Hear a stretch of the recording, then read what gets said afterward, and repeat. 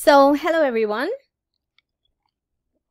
Welcome to the final session here. And um, you should be already ready by now. So, if you've got butterflies in your tummy, don't worry. It's just some extra energy there for you to keep you going. So, what I want to do today is to have a look at the audit of groups. Okay? Because of the title, uh, sorry, because of the article that the examiner on the ACCA website, technical articles or AAA.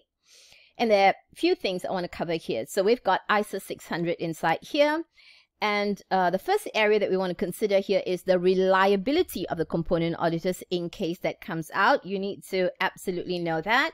So I have arranged the acronym um, this way, EQEAM. All right, so what does it stand for here?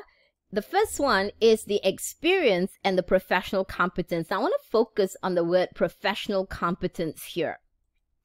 The thing that we're thinking about, oops, sorry, okay, this professional competence here, okay, is actually linked to understanding of the IFRS. So usually we are worried when the component is overseas and the component auditor is a foreign auditor and we're kind of worried that maybe they might not be familiar with IFRSs. So that makes our work a little more, bit more difficult because you got to remember that in a group audit, the subsidiary financial statements will have to be prepared in accordance with the group accounting policies and the group financial statement framework. So if they are not familiar with that, if they don't have experience with IFRSs, then that's going to be a bit difficult uh, for us. Okay, so it's the first thing that we want to consider the experience and the professional competence of the component auditor. The next thing is the qualification. A lot of the time we're dealing with a foreign auditor. Okay, not so much uh, a local one, although even if it's a local one, we still have got to go through EQEAM. So the second one is the Q here. We want to see whether they're professionally qualified and licensed. Now, uh, when you're writing out your answer, if this comes out in the exam, don't forget this bit. This is important because these are the matters to consider. And if they are not familiar with IFRSs, then they are, then they won't be able to carry out their work and they might not even be able to pick up misstatements. So that's a little worrying. So that if there is very important. You've got to remember that every time the examiner gives you this question on the reliability of uh, component auditors, the examiner would always say explain, not list. So if you just put down that part there alone, it is listing. So you need to explain. So here you've got the explanation again that if uh, if they're not professionally qualified and licensed, then the quality of their work could actually be questionable. So don't forget the word uh, explain in the exam question. Then you've got the compliance with the ethical requirements. And remember, we're dealing with a, a component auditor who might be in a foreign country. Of course, in your own home country, you know that they are, you know, whatever ethical code that you have is based on the IESBA code right? But if it's in a foreign country, then I'm not so sure. So we just need to double check that, okay, to see whether they are ethical. And then it goes on to say if the rules are less stringent, then there might be doubts on the area of their objectivity and integrity. Okay? All right, then the auditing standards, again, we're very worried about if it is in a foreign country. So I have got the if down here. Don't forget it is explained. So you have to explain how it how it applies to the exam question. Don't just plonk down uh you know a list there. The examiner in the requirement would have said explain. Then the last one is monitoring whether the component auditors operate in a jurisdiction where the auditors are constantly being monitored for their quality. And if this is so, it will enhance the quality that uh, of their work, enhance their competence. But if not, then we might be in a bit of a trouble. So please take note here. Um, reliability of component auditors needs to come out again. At least if you have got some of these points you should at least be able to get five marks here. Now, this is the reliability of the component auditor. And since we're talking about the reliability, we might as well just very quickly talk about the reliability of other people as well. So you can get a question on internal audit as well. So on internal audit, then we're following the rules in ISA 610. And if you want to assess the reliability of internal auditors, I use an acronym called DOTS. Of course, in the exam question, you will have to explain. Explain it. Uh, how do you explain it? In order for you to explain it, you have got to explain what it means in terms of ISA 610, and then you have got to relate it in this particular case. So you have to do this for all of them. Let me just color that. Okay, you have to do it for all of them. So that's how you explain. Explain what ISA 610 says about it then try and link it to the scenario. Otherwise, you're not explaining, and then your marks would be significantly downgraded. So, we're very worried about those people who have scored between 45 to 49.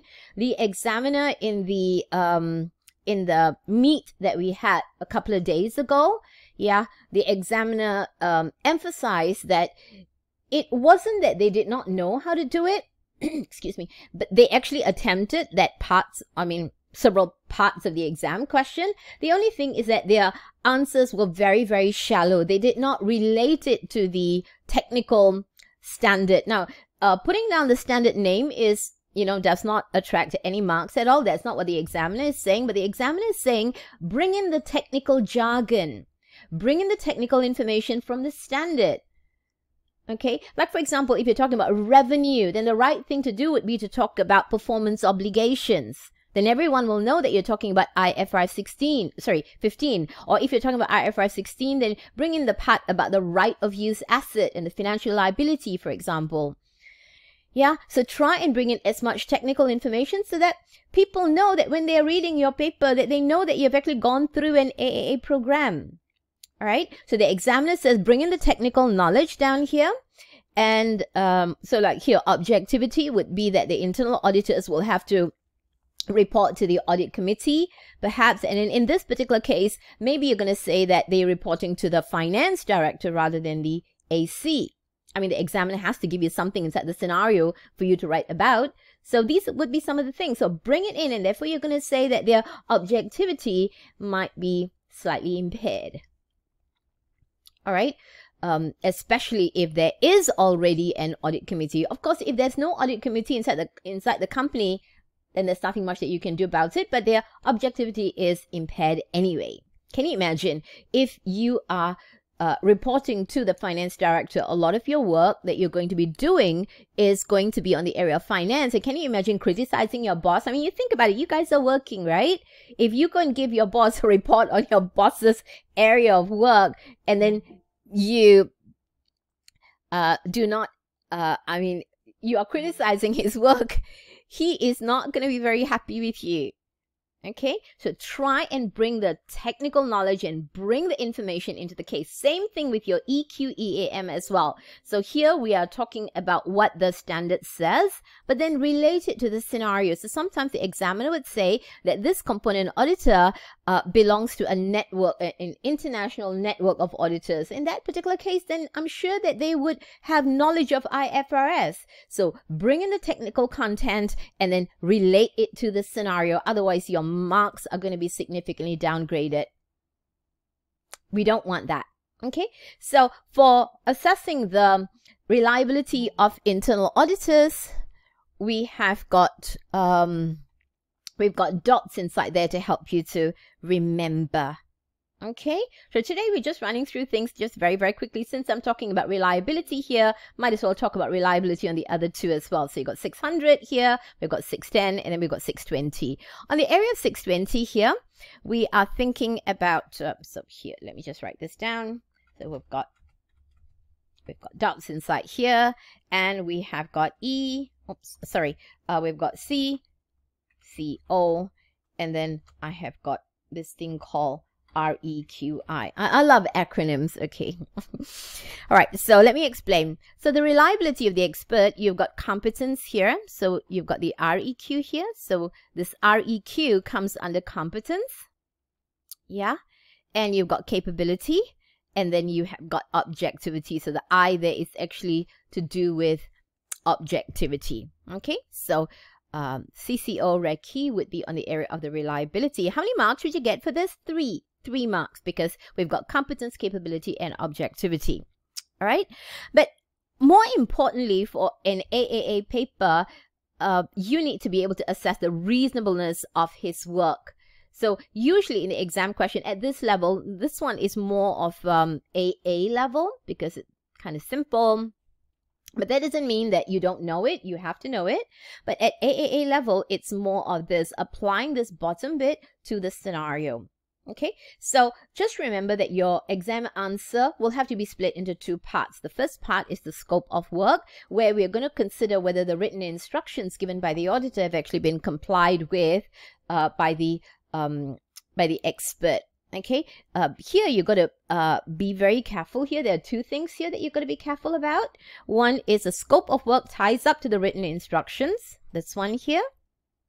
Okay, and the date the work should be undertaken because sometimes if you're dealing with the valuation of let's say an investment property it can be done close to the year end either before or after the year end is fine but close enough all right whereas if you're dealing with uh, the fair value of financial instruments then it has to be at the year end okay? Or if you're talking about the valuation of uh, share options then it has to be the fair value at the grant date not one day before not one day after. So you've got to be very careful there. So make sure that you know that. You put that down you get one mark all right don't just put there scope of work you don't get anything then you've got the relevance of conclusion here relevance of conclusion means um, this word relevance means whether it is whether it can be used by the auditor or not. Okay, is it relevant to us? So here, what are we thinking about? We're thinking about a few things. So I've just arranged it in the form of an acronym. Again, I love acronyms. MADCS. So we've got the model, the assumptions, the data has to be related back to whatever contracts or source documentation there might be, calculations, subsequent events. But on the area of subsequent events, you've got to be very careful. It only applies in certain cases, like in the case of the valuation of um, investment property, then you're right. Subsequent events does have a bearing, but um, but if you're dealing with the fair value, uh, then fair value is always at a particular date so whatever that happens subsequent to the year end is considered to be a non-adjusting event. Okay, so I just very quickly wanted to do that because I'd done the reliability here. Okay, so one question that can come out under groups is the reliability of the component auditor. So we've got the five marks inside here. Now, still on ISA 600 here, we've got this thing about the significant components. All right, so you got something called financially significant, and that's um, well, actually something very interesting in the in the standard itself. It does not specifically say 15%. It just says, for example, 15%. But for exam purposes, I think we all like to just take, what, you know, something that is definite and grab it as a rule and then think about it as if it is more than 15%, it is significant. I mean, 95% of the time it is true as far as our exams are concerned. But if you go to the actual standard, it just says, for example, more than 15%. Then you've got another kind of significant component called a non-financially significant component. I'm sure you already know all of this. So let's just have a look at the example here. So you've got subsidiary A, total assets are 20 million, and they've got an intangible inside there of 5 million. So I'm using the purple color here, yeah? So the first thing that we do is we take the total assets of subsidiary A, divided by the group total assets, and I've got 20%. So is this a a significant component? Yes, it is a financially significant component. In your exam, it really doesn't matter whether it is financially significant or non-financially significant. As long as it's significant, then there's certain things that the group auditor needs to do. All right. Then you've got a second subsidiary here. The total assets are only 10 million. So again, we go through that purple calculation again, and it's 10%. And you're like, OMG, it is less than 15%. Then we need to go one step further to go and look at their financial statements to see whether we can find anything. And here we have found something here, and it's probably something that is um, uh, could be misstated. So we want to see whether it can have a material impact on the group financial statements or not. So here I'm using the blue color here. We take the 5 million here divided by the 100 million here and it comes at 5%. And that's 5% of total assets. So 5% of total assets is this one here, up here. Right? So that means this particular subsidiary is considered to be uh, non-financially significant. Non-financially significant because from the purple side, it is less than 15, but on the blue side, it's more than 1% of total assets. So there are two calculations that you need to do. All right. Of course, the third one, uh, are, we okay so far? We, we just very quickly, um, you know, just revising. Okay. Then you got subsidiary C and it's also got 10 million inside here as their total assets. So when I do the purple calculation, it's only 10%. So therefore, I go and look for whether there's something else that is very big inside their SOFP that might materially misstate my consolidated financial statements. I find that they've got intangible asset. And um, it is 500,000. So when I divide it by the group total assets, the reason why I divide it here is because I'm the group auditor and I'm always thinking about the impact on the console. And I find that it's only 0.5, so this one is a non-significant component. So why do I need to know whether it's a significant or a non-significant component? Because it affects my uh, the nature of my involvement and the extent of my involvement. So when you're talking about the risk assessment here, so now we're talking about the nature of the involvement. So the minute it is a significant component, I would like to be involved in the component's risk assessment. Okay, so let's have a look here. This one you, you need to know, very important. So uh, for those of you who uh, are uh, coming in for, for the first time, if you want to have the PDF notes here, just email me. This is my email address.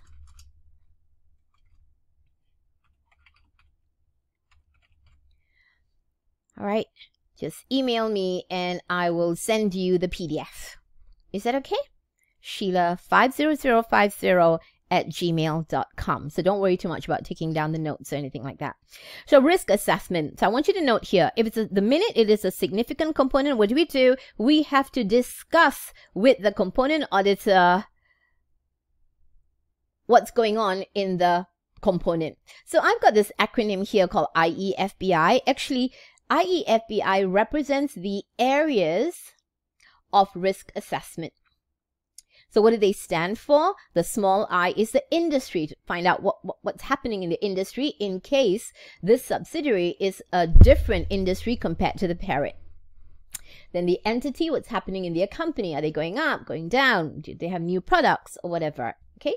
Then you've got the financial performance, the F, the business risks, and the internal controls. So all this is part of your ISA 315, part of our risk assessment. These are the areas that we seek to understand. So since the component auditor is already doing the audit, uh, I'm not going to do the audit because they're not paying me any fees. So I could discuss with them what they have found. Yeah? And then I, I would also like to discuss with the component auditor the ROMM in the component financial statements. You know, our question one is audit risk question, right? So if we are the auditor of, let's say, a company in our question one, then what are the things that we look at? We look at the goodwill, we look at the provisions, and there's so many things inside your question one, right? So just imagine that the component auditor has actually gone through that. So we're discussing with them, what have you found? What did you find when you were doing your risk assessment in that in that component? Uh, were the provisions okay? Uh, was there adequate impairment um, for your receivables, for your intangibles, for your PPE? Was it okay? So we're trying to talk to them about it. Because if there's an ROMM uh, in the component financial statements, and if it's material, it might actually screw up the consolidated financial statements as well. So I am interested. And then to review, this one is slightly different. I colored it slightly differently. Review the component auditor's documentation of the areas of significant risks of material misstatement. Note the difference in the color. The first two are discussion. The third one is that you actually have got to go into the specific documentation, their working paper on why they decided that this one was considered to be a significant ROMM. Now, if you go to ISA 315, it actually defines for you what is a significant risk of material misstatement. And we've got the acronym here called FUNCAR.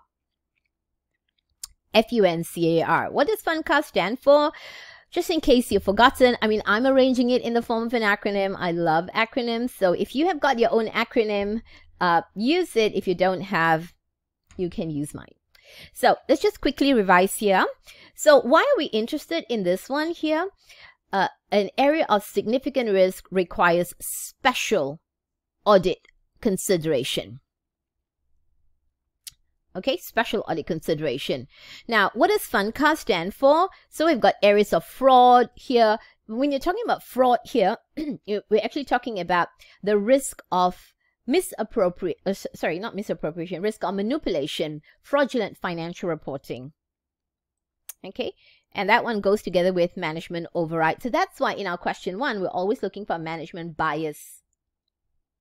Yeah, very important.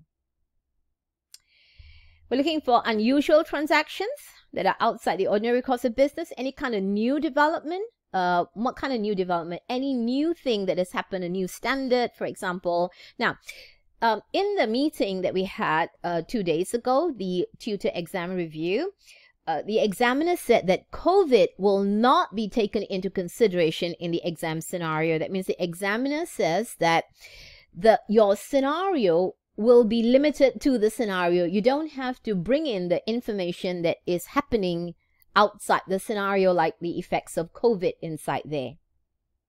Okay, so the uh, the the lady who was uh, it wasn't Kim, uh, Kim Smith.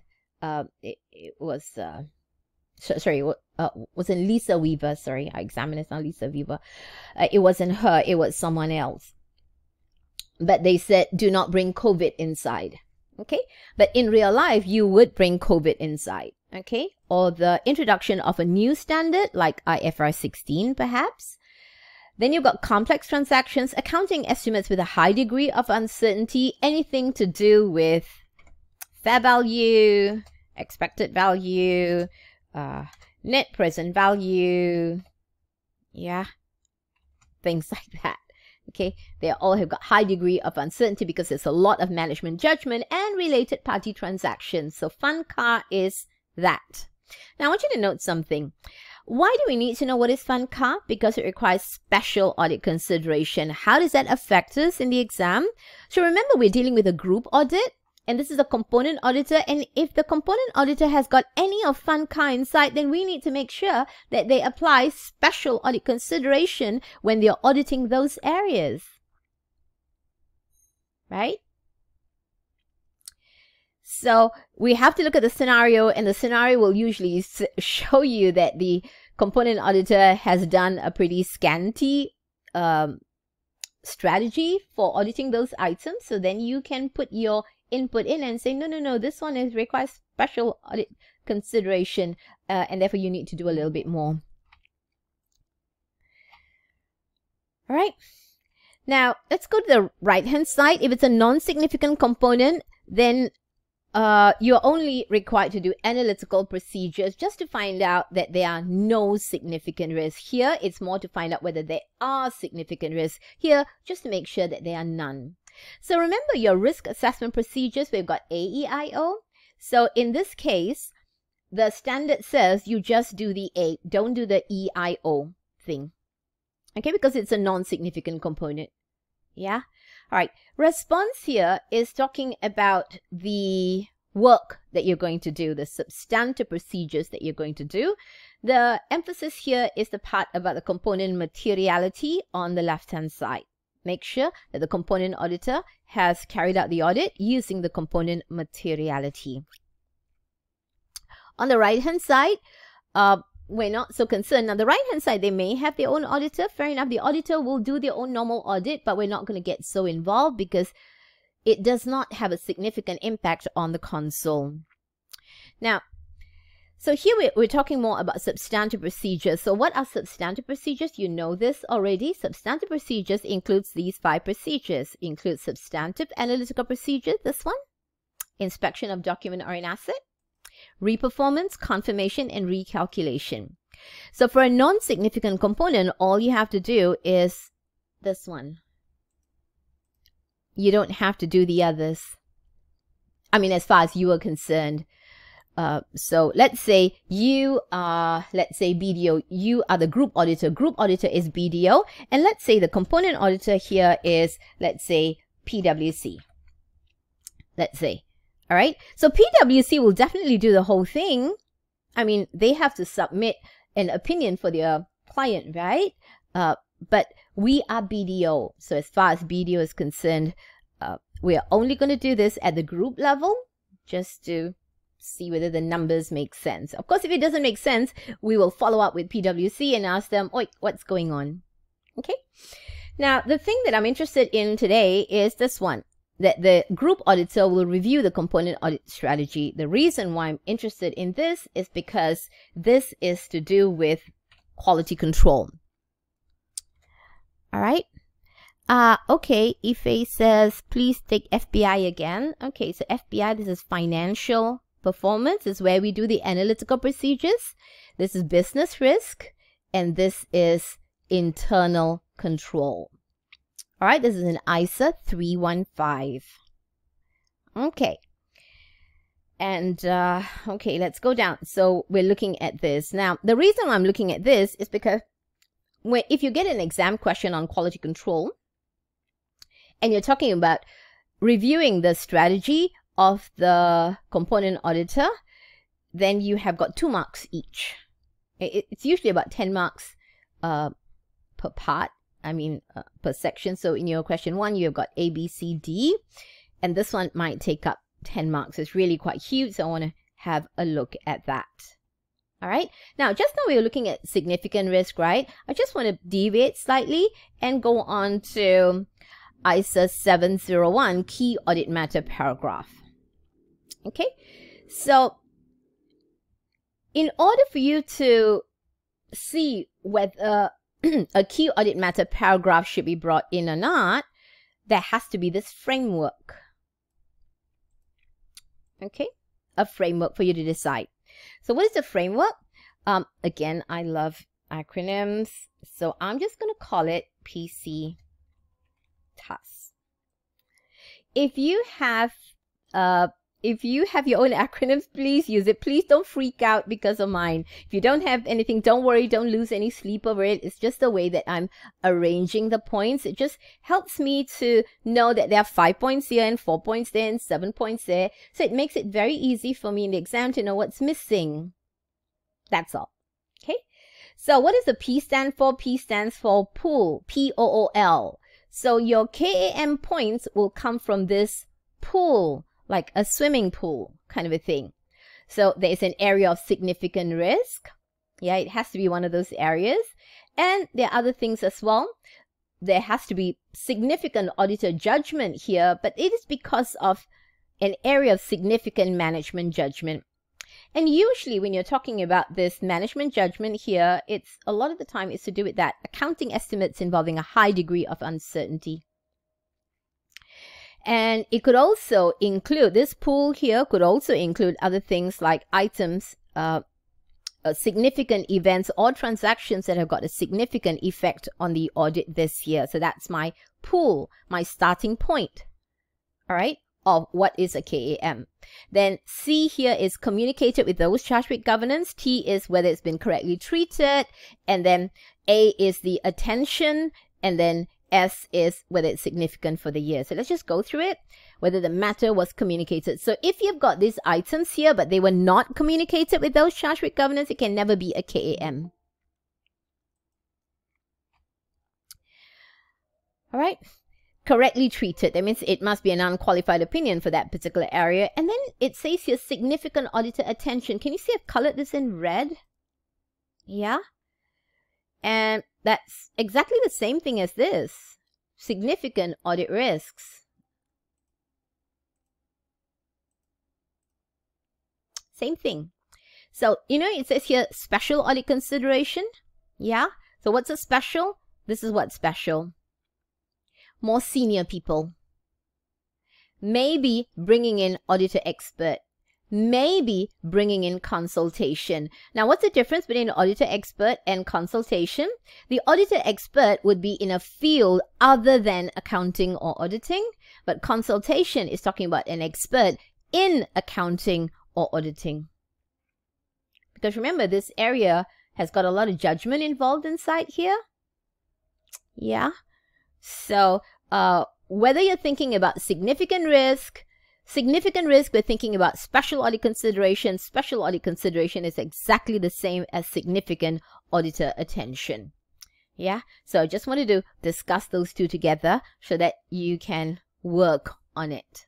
Yeah, relate it together. It's not two different things. Okay, so PC task here is the pool, communicated, treated correctly, uh, the attention and it's significant for the year. So what is significant for the year? Anything that I mean, you're talking about key audit matter. Key means only a few. You can't have 20 items and then call it key, can you? Yeah. So it's only a few items. So anything that involve the most amount of communication, the most significant auditor attention, and then it is material. So that's how you assess it. Okay, now let's go and have a look at an exam question. All right.